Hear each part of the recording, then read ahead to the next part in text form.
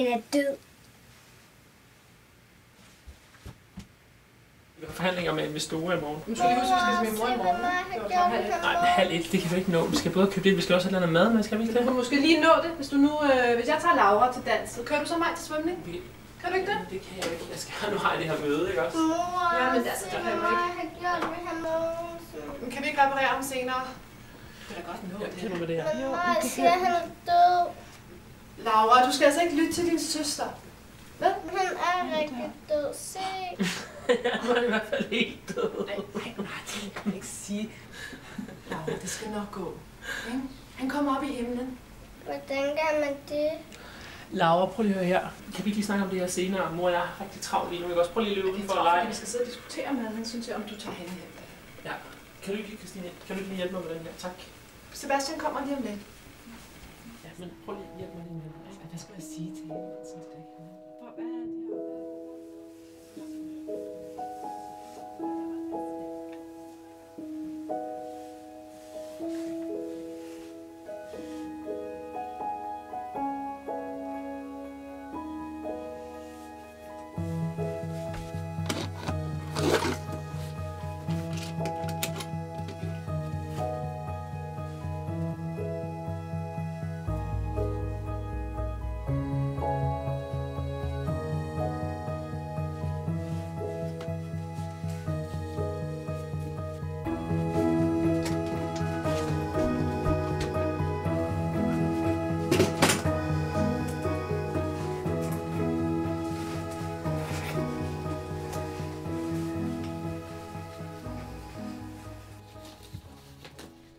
Du lege?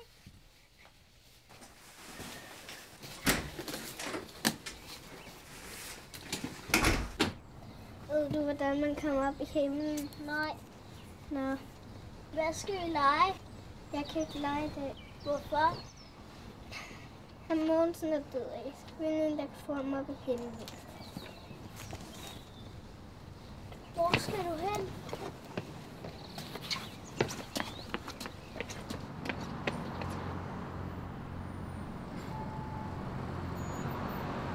Hvem ved, komme op i himlen?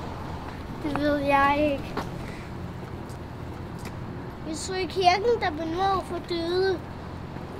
Okay.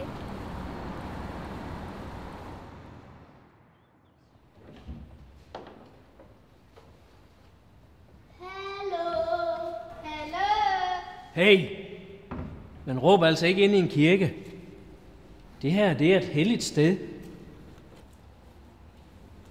Kan du hjælpe os? Kan du få ham Mogensen op i himlen? Prøv at høre her. Jeg skal som gerne tale med jer, men jeg bliver nødt til at fortælle jer sandheden. Okay, Okay. ser I. Himlen.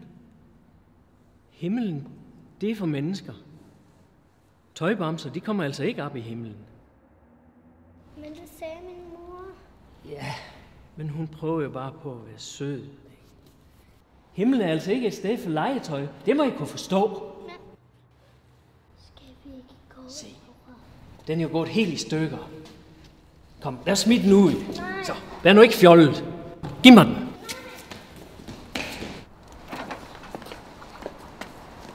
Den var mærkelig. Tror du, at Mogensen kan komme op i himlen? Selvfølgelig. Gravet forfor derovre. Jeg bliver ved til. Så det er sådan, man kommer op i himlen? Ja!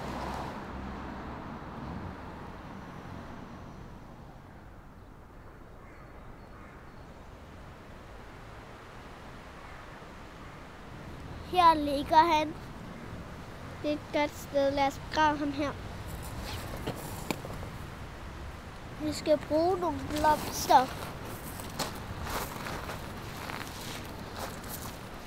Hey! Hvad dog, I laver?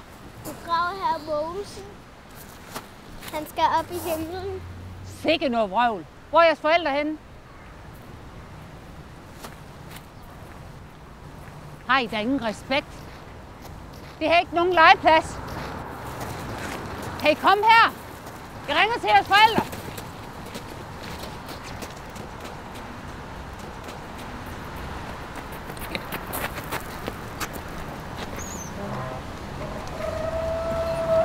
Husk din mormor, hun hjælper os. Hun er gammel, og hun har mange ting. Ved du, hvor hun bor? Ja, sådan der.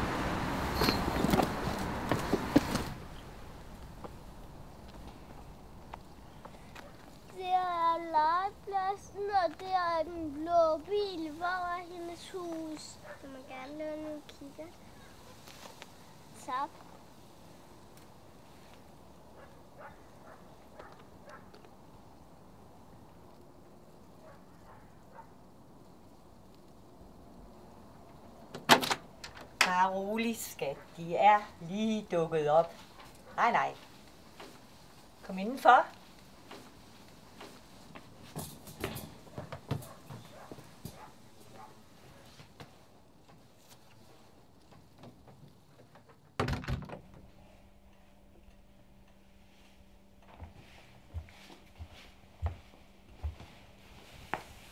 Hvad er der galt med dig?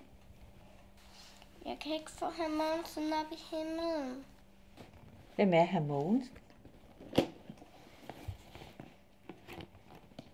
Må jeg tage ham?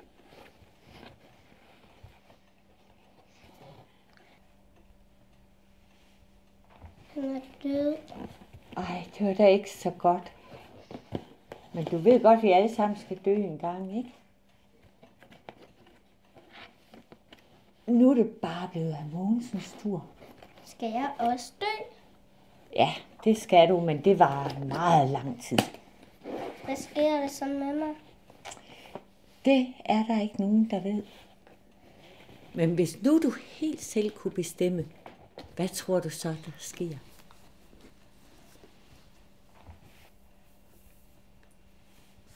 Jeg tror, man kommer op i skyerne, og så er der en kæmpe stor legeplads.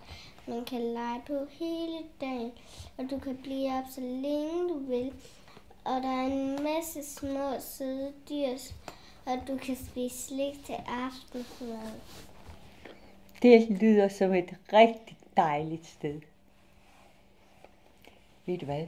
Jeg tror, vi to vi går ud og finder en skotøjsæske. Og så begraver vi her Mogensen ude i haven. Kommer han så op i skyerne? Ja, det gør han. Kom. Vil du sige noget? Farvel, herr Mogensen. Du har været en god ven.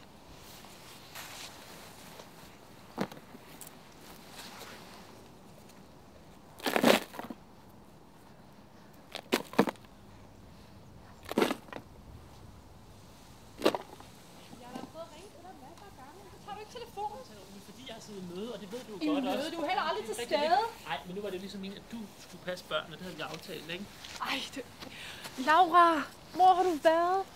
Du ved godt, du ikke må gå uden at fortælle os det, ikke? Vi er lige midt i herr Mogensens begravelse. Undskyld. Dig, der skulle passe børnene. Ved du hvad, mig? Lige nu er han Mogensen op på en sti og kigger ned på os. Det lyder dumt. Det er det ikke. Det er der, du kommer op, når du der, der er heste og hunde og katte, og du kan lege på en legeplads hele dagen. Og du kan spise slik til aftensmad. Er der virkelig heste deroppe?